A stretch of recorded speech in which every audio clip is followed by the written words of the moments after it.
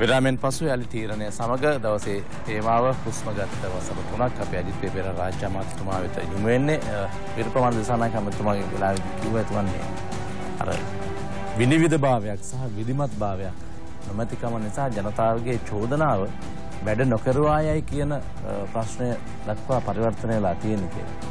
අවුරුදු තුනක් ගිහිල්ලා මේ විනිවිද භාවය එන්නේ නැත්තේ මොකක් හරි විධිමත් භාවය එන්නේ නැත්තේ මොකක් හරි කළමනාකාරණයේ තිබෙන ගැටලුවක්ද? නැත්නම් අර කිව්ව රාජ්‍ය නිලධාරීන්ගේ තනි තීන්දුව తీරන මත සමහර අවස්ථාවලදී වෙන දේවල් නිසාද? ඇයි ඇයි ඇයි මේ විධිමත් නැති ආණ්ඩුවක් ගන්න සැලසුමක් තිබුණා. ආණ්ඩුවේ අනිකුත් විෂයපතයන් බෙදා ගන්න සැලසුමක් තිබුණා. කරගෙන යන්න අමාත්‍යාංශ විදිහට තියෙන. හැබැයි පොදුවේ ආණ්ඩුව කියන තනි වචනේදී ඇද්දි මේ තියෙන අවිධිමත් භාවයක් ඇති වෙලා තියෙන්නේ. ඇයි? මොකද්ද හේතුව ඔබතුමා දකින විදිහ අවිධිමත් භාවය කියන වචනෙත් මම මේක එකඟ වෙන්න පුළුවන්. ඒක මේ කපලා දෙන්න එමතුමා මේ මම මේ අවිධිමත් භාවය කියන්නේ රාජ්‍ය ආන්ත්‍රණ එක පැත්තක දුවනවා.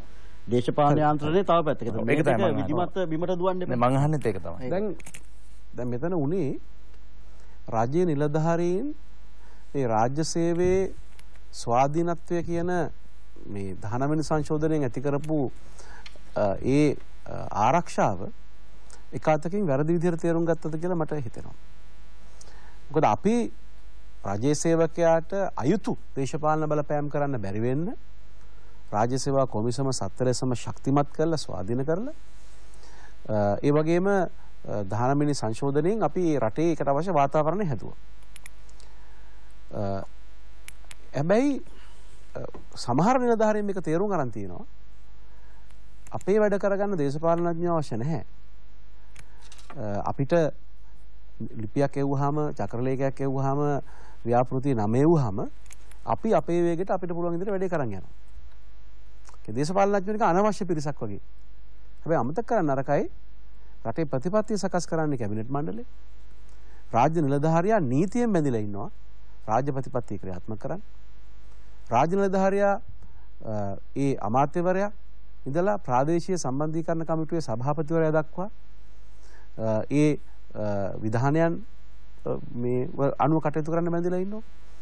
ඒ වගේම මහජන නියෝජිතයන්ගේ අදහස් වලට ගරු කරන්නට සියලුම දෙනා ප්‍රාදේශ සභා මන්ත්‍රීත්වය ඇතුළු බැඳිලා ඉන්නවා. ඒවා පිළිබඳ සැලකිලිමත් වෙන්න ඔවුන් කෙරේ ගෞරවයක් ලබා දෙන්න. ඒ වගේම ඒ රටේ තිබෙන රජ කියන ඒ ව්‍යුහය පිළිගන්න ඒ මේ පවතින රජය යහපාලන රජය ඒ ආණ්ඩුවේ සංයුතිය මේකයි ඒ අය කෙරේ ගෞරවයෙන් කටයුතු කරන්න ඕනේ. ඒ අයට ඒ ඒකේ ලකුණු ටික දාගන්න එක මේ වැරදි වැඩක් නෙමෙයි. ඒක මේ ස්වාධීනත්වයට අවුලක් වෙන වැඩක් නෙමෙයි කියලා තේරුම් ගන්න. ඉතින් මෙතන ප්‍රශ්නයක් තියෙනවා හැම රජෙම නිලධාරියන් නෙමෙයි. සමහර රජ නිලධාරීන් ඒ අයගේ අකාර්යක්ෂම භාවය වැඩබැරිකම වසා ගන්න මේ ස්වාධීනත්වයේ පලිය පාවිච්චි කරනවා. ඒ වගේම දේශපාලනඥයෙක් නැති හැමතැනම අපිට පක්ෂපාත නැහැ. මේ ආණ්ඩුව නැහැ, විපක්ෂ නැහැ. අපි තමයි මේ වැඩේ කරන්නේ. අපි තමයි මේ ව්‍යාපෘතිය හැමදේම තීරණය ගන්නෙ. කියලා ඒ කියන්නේ අර ආණ්ඩුවට ලකුණු නොදෙන ලයින් එකක් තියෙනවා. මේ යථාර්ථය මේක ඇත්ත කතාව. එතකොට මිනිසා ඔය ආණ්ඩුවට ලකුණු වැටෙන දේ කතාව ඇත්ත. නමුත් ඊට වඩා හෝ එහා සමානවම ලොකුම ප්‍රශ්න තමයි ආණ්ඩුවට තමන්ගේ ප්‍රචාරක වැඩසටහනක් තිබුණේ නැහැ. දැන් යමක් වෙනව බව පේනවා. ඒක ප්‍රමාද නැහැ. ප්‍රමාදය කියලා දෙයක් නැහැ. ප්‍රමාද වෙලා හරි කරන එක හොඳයි. එතකොට ඒ වගේම දැන් බලන්න මහා පරිමාණ ව්‍යාපෘති අහනවද එක එක අධිවේගී මාර්ගයක් හැදුවද UNP කාර්යෝ කියලා අහනවා. දැන් දකුණු අධිවේගී මාර්ගයට කුරුඳුගා හතක් මෙන් මුල් ගල තිබ්බේ අපි 2001 2004 ආණ්ඩුව කාලේ. දකුණු අධිවේගී මාර්ගයේ ඉඩම් පවර ගන්න කටයුතු කරලා මිනිස්සු ආණ්ඩුවත් එක්ක නඩු කියනකොට මේ අධිවේගී මාර්ගය කියන එකේ හැඩරුව ප්‍රයෝජන මිනිස්සුන්ට තේරුමක් තිබුණේ නැහැ. ඒ වගේම හොඳට ඇති වෙන්න වන්දි ගෙවනවා මිනිස්සු සන්තෝෂ වෙන තරමට වන්දි ගෙවනවා කියන එක තේරුමක් තිබුණේ නැහැ. මිනිස්සු ආණ්ඩුවත් එක්ක නඩු කියනකොට මම දන්නවා දැන් බණ්ඩාරගම ගැලණිගම ලොකුම නඩු තිබ්බේ බණ්ඩාරගම. මොකද පවරගත් ඉඩම් වලින් වටිනාම ඉඩම් තිබුණේ බණ්ඩාරගම ඒ කාලේ හැටියට කොට්ටාව දක්වා. ඒතර ලොකු නඩු ප්‍රමාණයක් අවුරුදු ගාණක් නඩු කිව්වා. චන්ද්‍රිකා මැතිණිය අවුරුදු 11ක් පාලනය කළත් ඒ අවුරුදු 11 ඇතුලේ අධිවේගී මාර්ගය ඉවර කරේ නැහැ. 11ක්. ඊට පස්සේ රාජපක්ෂ මැතිතුමා ජනාධිපති වෙලා තවත් අවුරුදු කිහිපයක් ගියාට පස්සේ තමයි දකුණු අධිවේගී මාර්ගය ඉවර කරේ. කොටහක් හරි ඉවර කරේ. දැන් මොකද ඒ කියන්නේ? ඒ කියන්නේ අවුරුදු 10ක් 12ක් 15ක් ගියා ඒට ඉවර කරගන්න. දැන් අපි අවුරුදු 3න් අහනවා අධිවේග මාර්ග හැදුවද කියලා. ඉතින් මට කියන්න තියෙන්නේ මාතර ඉඳලා හම්බන්තොට අධිවේගී මාර්ගය දැන් වැඩ සෑහෙන ප්‍රමාණයක් අවසන්. ගිය ආණ්ඩුවෙන් ආරම්භ කරා අපි ඒක කරගෙන යනවා. ඉතින් ඒක තමයි අපේ ආණ්ඩුවේ වැඩේ. ඒ වැඩේ කරන එක. ඒ වගේම මධ්‍යම අධිවේගී මාර්ගය ඒකේ සමහර කොටස් වල වැඩ දැන් ඉවර වෙන්න ආසන්න වෙලා තියෙනවා. ඒ වගේම මේ කටුනායක වටරව මාර්ගය කටුනායක අධිවේගී මාර්ගයත් ඒ වගේම දක්ෂිණ අධිවේග මාර්ග ත්‍යා කරන ඒ වටරව මාර්ගයේ වැඩ සෑහෙන ප්‍රමාණයක් ඉවරලා තියෙනවා. තව වසරක් වගේ යනකොට සම්පූර්ණයෙන් වගේ අවසන් කරන්න පුළුවන්. ඒ වැඩ කෙරෙනවා. නොකරන දේ තමයි හෙලිකොප්ටරයකින් ගිහිල්ලා මේ ඉදිකිරින් ටික පෙන්නලා සජීවීව මේවා මාකට් කරන්න පුළුවන්. මට අවස්ථා කීපයක් ලැබිලා තියෙනවා නිල රාජකාරි සඳහා නායකයොත් එක්ක යනකොට අපි තනියෙන් හෙලිකොප්ටරේ යන්නේ නැහැ නමුත් ජනාධිපතිතුමා හෝ අකමැතිතුමත් එක්ක යනකොට අපිවත් හෙලිකොප්ටරේ දාගෙන යනවා ඒ දුර බැහැර ගමන් වලට. ඉතින් අපි ගෝල්ෆේස් එක ගාවින් පටන් අරගෙන යනකොට අපිට පේනවා වටරවුම් මාර්ගයේ වැඩ ගොඩක් වෙන උඩින් බලන්න ඕනේ යටින් බලනකොට පේන්නේ අර පේන කණු කීපයක් විතර.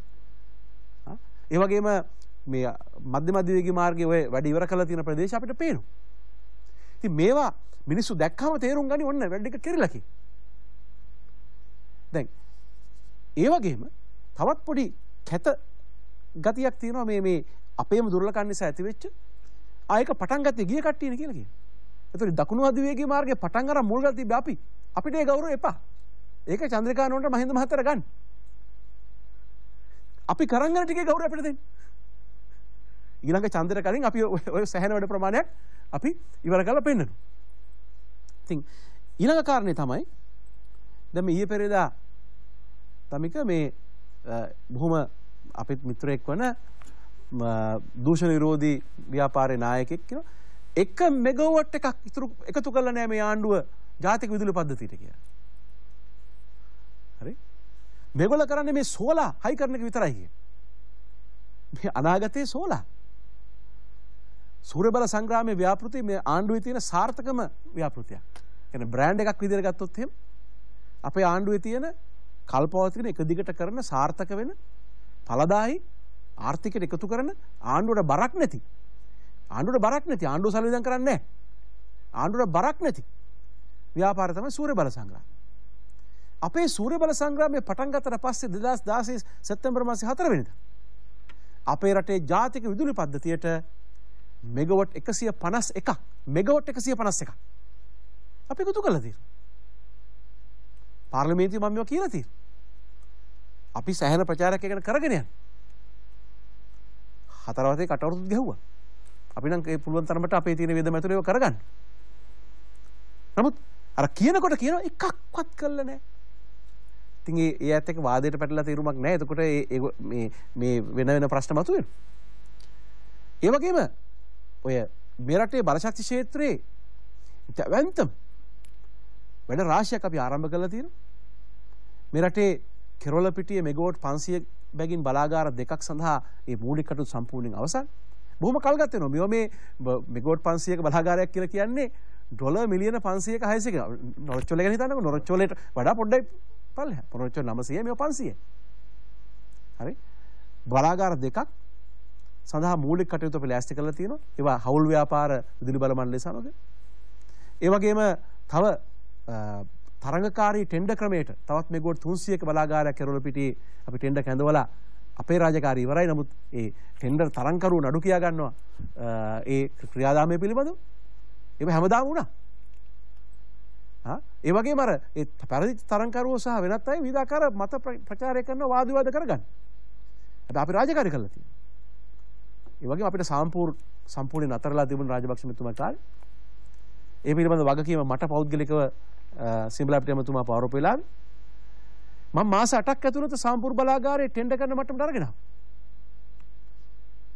2016 මැයි මාස 25 වෙනිදා ටෙන්ඩරය ප්‍රකාශනයපත් කරන්න පත්තරේ සහ ජාත්‍යන්තර සංග්‍රහවල අපි ඉඩත්වෙන් කරගත්තා. දවස් දෙකකට කලින් ජනාධිපතිතුමා කිව්වා සාම්පූර්ණව කලකුරු බලාගාරයක් අවශ්‍ය නැහැ කි. ඒක අපිට කරන්න දෙයක් නෑ. නමුත් අපි එහෙම කළා. දැනුත් අපිට එහෙම කරන්න පුළුවන්. ඒ වගේම අපි සූර්ය බලය සහ සුළම් බලය පිළිබඳව මන්නාරමේ මෙගවට් 100ක් ඉදිකිරීම සඳහා සුළම් බලාගාරේ සියලුම කටයුතු අවසන් කරලා අ, ඉදිකිරීම සඳහා ටෙන්ඩරයක් දැන් අවසන් කරලා අ, විදුලි ඒකකයක් රුපියල් පහක් වගේ අඩු මුදලකට නිෂ්පාදනය කරන්න පුළුවන් ආකාරයට අපි මන්නාරම් බලාගාර ඇති කරලා තිනවා. අද අපි රුපියල් 20 සත 20ක් වැය කරනවා ඒකකයක් සඳහා මේ අඩුවෙන් වැඩියෙන් මිලදී ගන්නවා විවිධ ක්‍රමවලට. මෙතන අපිට අපේම බලාගාරයක් මේක නිෂ්පාදන වියදම රුපියල් 5ක විතර ප්‍රමාණය තමයි තියෙන්නේ. යුනිට් එකකට යන යුනිට් එකට වියදම. එතකොට අපිට වියදම අපි ඒක මිලදී ගැනීමක් කරන්නේ අපිම බලාගාරය හදන්නේ ආසියානු සංගන්ධර බැංකුවේ ආධාර වලින්. නමුත් ඒකේ වියදමට සාපේක්ෂව ඒ කියන්නේ ඒකේ ඒකකයක් වෙනුවෙන් විදුලි බල මණ්ඩලයට දරන්න වෙන වියදම බැලුවොත් දැන් අපි කියන්න පුළුවන් රුපියල් 5ක විතර කියලා. ඉතින් ලාභදායී පරිසරිතකාමී ව්‍යාපෘති. මේවා තමයි අපි කරලා තියෙන්නේ. මේවා නතර වෙලා තිබුණේ. අපි ආරම්භ කළා. ඊළඟ වසර එකහමාර ඇතුළත ඉදි කරලා අවසන් කරන්න. මේකට 100ක්. ඒ වගේම සියමලාණ්ඩුවෙත් ඒ වගේම යාපනයේත් පුනරීන් වල මෙගවට් 100කින් වූ බලාගාර දෙකක් සූර්ය බලාගාර අපි ඊළඟ සති කිහිපය තුළ ටෙන්ඩර් කරනවා. එක බැගින් වූ බලාගාර 60ක් ටෙන්ඩර් කරා සාර්ථකයි. රුපියල් 23යි සත 10ක්ව තිබුණු මිලදී ගැනීමේ මිල රුපියල් 17කට අඩු කරා. ඊට පස්සේ රුපියල් ඊට පස්සේ අපි මෙගෝට් එක බැගින් වූ බලාගාර 90ක් නැවත ටෙන්ඩර් කරා. දැන් අපිට පේන විදිහට රුපියල් 16ක් වගේ මිලකට අපිට එක එකකයක් මිලදී ගන්න පුළුවන් ඇවරේජ් එක. සම ඒ තැනින් තැන වෙනස් වෙනවා. ඒ කියන්නේ භූමිය හැටියට පළාත හැටියට වෙනස් වෙනවා. ඒ වගේම අපි ඉදිරියේ තවත් මෙගෝට් 150ක් සූර්ය බලය, මෙගෝට් 70ක් සුළං බලය අපි බලාපොරොත්තු වෙනවා ටෙන්ඩර් කරන්න. මතක තියාගන්න මීට කලින් මේ ඔක්කොම මැති අමතුරු තමන්ගේ යාළුවන්ට මේ පර්මිට් වික්කා. හරි? ඒක හොඳට මතක තියාගන්න මේ මේ මේ කාරණා ගැන නම් කියන්න අවශ්‍යතාවයක් නැහැ. ඔබතුමාලා දන්නවා ඇති පහුගිය ආණ්ඩුවේ වගකීම් දරපුවා හැටියට. හරි? මේ ඩොලර් මිලියන ගණන්. ඒ කියන්නේ ඒ ඒ බලපත්‍රයකට ඩොලර් මිලියන ගණන්. එක මහත්තයෙක් අ, ඔහුගේ මාමණ්ඩිට ඒ බලපත්‍රය අරන් දීලා හරි? අ, මෙගවොට් 20ක ඒ බලාගාරය කම්පැනි පිටිම පැවරුවා. ඒ බලපත්‍රය පමණ ඒ අවස්ථාවේ තිබුණේ. මිලදී ගත්ත සමාගම ලාෆ් සමාගම මම නම කියන්න පුළුවන් උන් ප්‍රසිද්ධිය කියපු නිසා මිලදී ගත්ත සමාගමක අපි ඩොලර් මිලියන 4කට මේක මිලදී ගත්තේ. කියන බලපත්‍රය පමණයි. අපිට පස්සේ ආරංචි වුණා ඕස්ට්‍රේලියාවේ ඒ- ඒ මහත්තයා ගයක් ගත්තා කියලා. අද ඒ බිරිඳක් දරුවොත් ඒ පළාතේ දැන් පදිංචි වෙලා ඉන්නවා ලංකාවේ නෑ අපි ඒක දන්නවා. දැන් එහෙම තමයි වැඩ උනේ. හරි? මේ- මේක තමයි යථාර්ථය. ඒතර අද එහෙම නෑ. අද එක පර්මිට් එකක්. අපිට ඒක රණ්ඩු කරගන්නවා මරා ගන්නවා. පරණ විදිහට පර්මිට් දෙන්න බැරියයි කියලා. අපි කියනවා නෑ දෙන්නේ නෑ. අපි අද සාර්ථක වෙලා තියෙනවා මේ ටෙන්ඩර් ක්‍රමේ ප්‍රමාදයි. පර්මිට් එක අස්සම් කරලා දුන්නා දැන් දුන්න දෙන්න පුළුවන්. හැබැයි එහෙම කරත් ඒ බලාගාරයට හැදුන්නේ නෑ. හැබැයි අද වෙනකොට අපිට පුළුවන්කම ලැබිලා තියෙනවා ජාතික පද්ධතියේ මෙගෝට් 181ක් දැන් තියෙනවා සූර්ය බලය. කලින් තිබුණේ 31යි. අපි ආවට පස්සේ 150යි. ඒ නිසා වැඩ කිරිලා තියෙනවා. මොකුත් නෑ කියන්නේ නෑ. හරි? ඒ වගේම මේ රටේ අ, අපේ ප- අපේ පද්ධතිය පවත්වාගෙන යන්න අවශ්‍යයි ගොඩක් මේ විවිධ ක්‍රම වලින් ඒ කියන්නේ ඒක ගල්ලඟුරු වෙන්න පුළුවන් ඒක LNG වෙන්න පුළුවන් ඒක ඩීසලුත් අපිට යම් ප්‍රමාණයක් අවශ්‍යයි. ඩීසල් අහක දාන්න බෑ ගණන් වැඩි වුණත් සමහර තැන් වලට අපිට ඩීසල් බලාගාර ඕනේ. සූර්ය බලය සුළං බලය මේ ඔක්කොම එකතු කරලා අපි බලශක්ති ක්ෂේත්‍රය පවත්වාගෙන යනවා ඒ වගේම මට අවසර වශයෙන් කියන්න තියෙන මේ කාරණේ. දැන් එදාට වඩා අද හොඳද? ඕකනේ මනින්න ක්‍රමේ. දැන් මහින්ද රාජපක්ෂ මහත්තයාගේ පාලනය පරාජයට පත් කරන වෙලාවේ 2014 දෙසැම්බර් මාසයට වඩා අද හොඳයිද? එක එක අයට එක එක උත්තර තියෙනවා. සමහර අයට ජීවිතය අමාරු වෙලා තියෙනවා සමහර අයට ජීවිතය අසීරු වෙලා තියෙනවා. රටක් වශයෙන් එදාට වඩා අද හොඳයිද? මම කියනවා සමස්තයක් විදිහට ඔව්. අපිට ජීවන බර වැඩවීම පිළිබඳ ප්‍රශ්න කිහිපයක් තිබෙනවා. විසඳ ගන්න අවශ්‍යයි. යුක්තියට වීමේ ප්‍රමාදය පිළිබඳ ප්‍රශ්න අපිට අපේ විසඳුම් සොයාගෙන තිබෙනවා දැන්. ඒවා ක්‍රියාත්මක වෙන්න අවශ්‍යයි. හැබැයි එදාට වඩා අද හොඳයි. මේ ප්‍රජාතන්ත්‍රවාදී ක්‍රියාදාමයේ පදනම තමයි සත්‍ය දැන ගැනීම, තොරතුරු දැන ගැනීම. තොරතුරු දැන ගැනීමට තමයි අපි මේ කතා කරන්නේ. තොරතුරු දැනගැනීමට බැරි සමාජයක නිවැරදි තීරණ ගන්නට පුරවැසියට බෑ. සත්‍ය තොරතුරු දැනගන්න පුළුවන් ක්‍රම අපි මහින්ද රාජපක්ෂ ප්‍රතික්ෂේප කරපු.